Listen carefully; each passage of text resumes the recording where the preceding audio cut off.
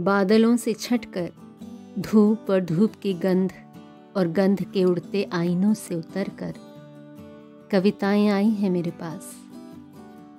सादा लिबास, लटें जिनमें मुद्दतों से तेल नहीं पड़ा था, आँखों के घेरे जहाँ शाम का झुटपुटा डूबने के पहले जरा काँप गया था।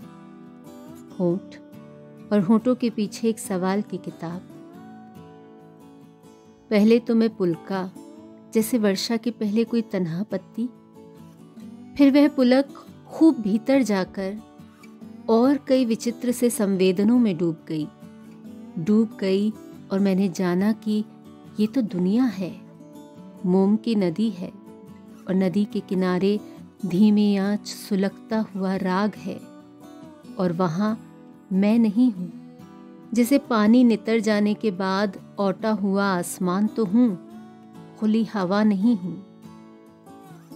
सवाल जब सब हल हो जाएँगे, तब क्या होगा? होठ होंगे शायद, और उनकी धूप, गंध, और उड़ते आईनों पर एक दुखी और हठीली परछाई।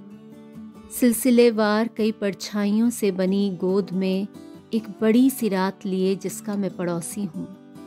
हल्की और तेज पदचाप करती हुई इन परछाइयों के अर्ध चेतन एहसासों में कोई क्षतिज खटखटाने को अनायास उठ गए हैं मेरे हाथ। कोई जलबिंब पकड़ने में कभी खुल गई है निर्भय आँख और पीड़ित कोहराम से छिटक कर दूर तना रह गया हूँ, जैसे बोलने को भोर का गूँगा एकांत।